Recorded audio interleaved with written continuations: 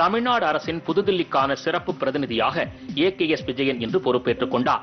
தமிழ்நாடு இல்லத்தில் நீர்வளத்துறை அமைச்சர் Duraimurugan T K S Elangovan Dayanidhi Maran Thamizhachi Thangapandian உள்ளிட்ட தமிழகத்தைச் சேர்ந்த மக்களவை மற்றும் மாநிலங்களவை உறுப்பினர்கள் இந்த நிகழ்ச்சியில் கலந்து கொண்டனர்.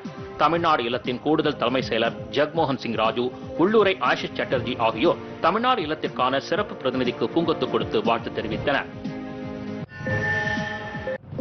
காவிரி டெல்டா மாவட்டங்களில் குறுவை சாகுபடிக்காக கல்லணையிலிருந்து இன்று தண்ணீர் திறக்கப்பட்டது. காவிரி டெல்டா பாசனத்திற்காக மேட்டூர் அணையிலிருந்து கடந்த பனிரெண்டாம் தேதி முதலமைச்சர் மு க ஸ்டாலின் தண்ணீர் திறந்து வைத்தார்.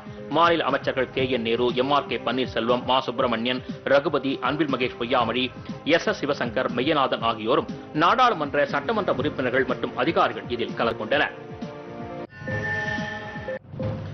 சென்னை அண்ணா நூற்றாண்டு நூலகத்தை அமெரிக்க முன்னாள் அமைச்சர் ஹிலாரி கிளின்டன் பாராட்டியதைப் போல மதுரையில் அமையவுள்ள கலைஞர் நூலகமும் அமைய வேண்டும் என பொதுப்பணித்துறையினருக்கு அத்துறை அமைச்சர் ஏவா வேலு அறிவுறுத்தியுள்ளார். சென்னையில் இன்று பொதுப்பணித்துறை திட்டப்பணிகள் குறித்து அதிகாரிகளுடன் ஆய்வு செய்த அவர் சமுதாயத்திற்கு சேவை ஆற்றுவதுதான் பொதுப்பணித்துறையின் முக்கிய இலக்காக இருக்க வேண்டும் என்றார். மேலும் கலைஞர் நூலகம் சென்னை கிங் மருத்துவமனை வளாகத்தில் அமையவுள்ள பன்னோக்கு மருத்துவமனை கோவில்பட்டியில் எழுத்தாளர் கி. ராஜநாராயண் மணிமண்டபம் போன்றவற்றுக்கான மதிப்பீடுகள் மற்றும் வரைபடங்களை விரைந்து தயாரித்து அளிக்குமாறும் பொறியாளர்களை அமைச்சர் ஏவா வேலு கேட்டுக்கொண்டார் சென்னை குடிநீர் தேவைக்காக ஆந்திர மாநிலம் கண்டலேறு அணையில் திறக்கப்பட்ட கிருஷ்ணா நதி நீர் தமிழக எல்லையான ஊத்துக்கோட்டை தாமரைக்குப்பம் ஜீரோ பாயிண்டை வந்தடைந்தது. பால்வளத்துறை அமைச்சர் சாமு நாசர் திருவள்ளூர் நாடாளுமன்ற உறுப்பினர் ஜெயக்குமார் மாவட்ட ஆட்சியர் ஆல்பி ஜான் வாகிஸ் உள்ளிட்டோர் மலர் தூவி கிருஷ்ணா நதி நீரை வரவேற்றனர். பின்னர் செய்தியாளர்களிடம் பேசிய அமைச்சர் எட்டு டிஎம்சி நீரை பெற தமிழக அரசு நடவடிக்கை எடுக்கும் என்றும் பூண்டி நீர்த்தேக்க நீர்க்கசுவை சீரமைக்கும் பணிகள் முழுமையாக நிறைவேற்றப்படும் என்றும் அவர் தெரிவித்தார். ஆட்டோவில் பயணம் செய்ய இ பதிவு முறையினை ரத்து செய்ய வேண்டும் என்று மார்க்சிஸ்ட் கம்யூனிஸ்ட் கட்சியின் மாநில செயலாளர் கே. பாலகிருஷ்ணன் கேட்டுக் கொண்டுள்ளார். இது தொடர்பாக அவர் விடுத்துள்ள அறிக்கையில் பொதுமக்களின் அன்றாட தேவைகளுக்கு ஆட்டோ பயணம் அத்தியாவசியமாக உள்ளதால் பொதுமக்கள் மற்றும் ஆட்டோ தொழிலாளிகளின் நலனை கருத்தில் கொண்டு இ பதிவு முறையினை ரத்து செய்ய வேண்டும் என்று வலியுறுத்தியுள்ளார். கட்டுமானம் ஆட்டோ உள்ளிட்ட பதினேழு நலவாரியங்களில் பதிவு செய்யப்பட்டுள்ள தொழிலாளர்களுக்கு நாட்டுப்புற கலைஞர்களுக்கும் தலா நான்காயிரம் ரூபாய் கொரோனா நிவாரண நிதியாக வழங்க வேண்டும் என்றும் தமிழக அரசை கே. பாலகிருஷ்ணன் வலியுறுத்தியுள்ளார். தெற்கு ரயில்வேயில் இயக்கப்படும் சில சிறப்பு ரயில்களின் நேரம் மாற்றியமைக்கப்பட்டுள்ளது. தூத்துக்குடி ஊகா வாராந்திர சிறப்பு ரயில் வரும் இருபதாம் தேதி முதல் இரவு பத்தேகால் மணிக்கு புறப்பட்டுச் செல்லும் என்று அறிவிக்கப்பட்டுள்ளது.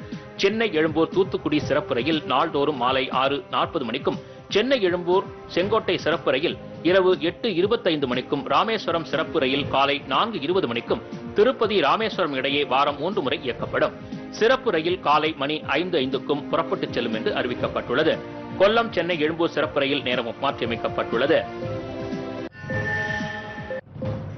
டேராடூனில் உள்ள ராஷ்டிரிய இந்திய ராணுவ கல்லூரியில் அடுத்த ஆண்டு ஜனவரி மாதம் சேர்வதற்கான நுழைவுத் தேர்வு இம்மாதம் ஐந்தாம் தேதி நடைபெறுவதாக அறிவிக்கப்பட்டிருந்தது.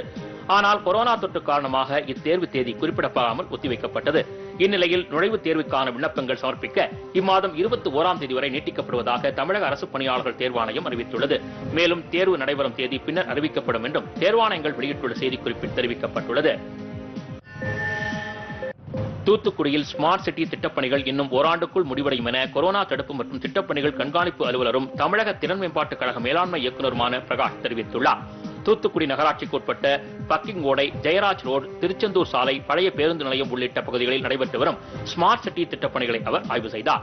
தொடர்ந்து செய்தியாளர்களிடம் பேசுகையில் கொரோனா தொற்றை தடுக்கும் வகையில் விரைவான நடவடிக்கைகள் மேற்கொண்டதன் காரணமாக தொற்று பாதிப்பு மாவட்டத்தில் ஆறு சதவீதத்திற்கும் கீழாக குறைந்துள்ளதாக தெரிவித்தார்.